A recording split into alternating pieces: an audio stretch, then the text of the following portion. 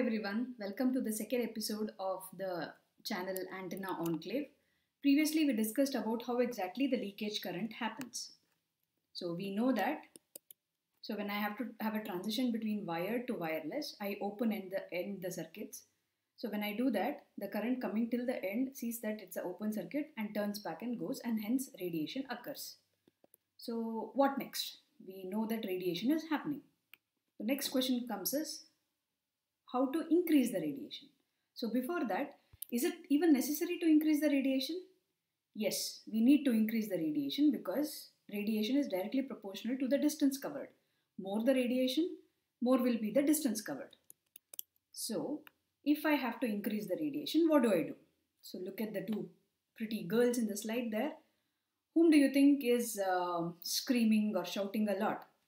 So obviously is this lady there so she is using more power or more energy to shout or to talk. Hence, the distance covered by her is more, which is true. Yeah. So can I use the same logic here also? Which means what? If I increase the power with which the uh, uh, source is putting throwing out energy, so by the time it comes out, the leakage current will also be more and hence more radiation. Can I do that? Which basically says I increase the power to increase the radiation.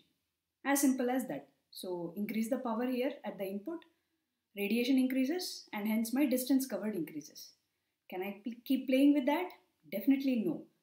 So had there been a scenario wherein we are, I mean, it's completely a line of sight and no one is, no human habitat is there, no living things are there, I can play with power, no issues with that. But since we are all surrounded, we need this network coverage or whatever transition we are doing, whatever communication we are doing, within the boundary of living organisms. So I cannot play with power because more the power, directly it would affect us. So what's the solution? What do I do to increase the radiation now? So as we look into the slide here, so it basically says at the transmission part, the current, whatever is moving through the waveguide, hits the end and goes back. Okay. Let's take an example now. So assume uh, the same example what we took in the previous one, a person carrying a bucket of water and he turns and comes back. He turns and comes back and there's a small leakage current. So now there's two examples. The same guy who is carrying a bucket of water is turning abruptly and coming back. Second example, he is taking a longer turn and coming back. Which do you think has more water spillage there? So it's obviously taking a huge turn. So what do we understand with this is whatever waveguides I have here, which is the at the end of it, if I increase the width of the tapered ends, which means there is more leakage current, which basically says the time required for the current to turn and move back is more and hence more leakage current, hence more radiation. So what, what we basically did, all we did was taper the ends of the transmission line. Okay. The moment we tapered, the time taken for the current to turn back and go increased, hence radiation increased, hence uh, distance covered will also increase.